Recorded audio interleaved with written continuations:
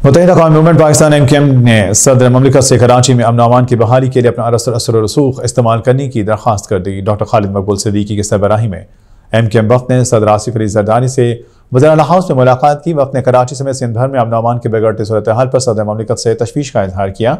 M के वक्त की जानब से स्ट्रीट क्राइम में लोगों की कीमती जानमाल के ज़्या पर भी शदीद तशवीश का इजहार किया गया। इस मौके पर एम के एम रहनुमाओं का कहना था कि पाकिस्तान खसूस सिंध के शहरी इलाकों के मसाइल को हल करने के लिए हर सतह पर सियासी जमातों के साथ मिलकर अपना किरदार अदा करने के लिए तैयार है।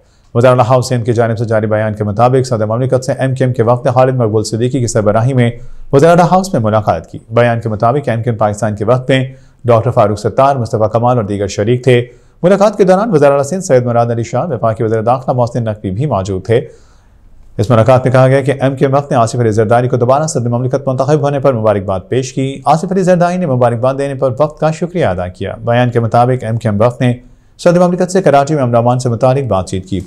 आसिफ अली जरदारी ने कहा कि सिंध में अमरामान से मुतालिक आज बदराना हाउस में इजलास करने आए हैं। अमरामान की बहाली में हम तमाम स्टेक होल्डर्स को साथ लेकर चलेंगे। बयान के मुताबिक एम के एम वक्त ने सदर ममलिकत आसिफ अली जरदारी को भरपूर ताउन की यकीन दहानी करवाई।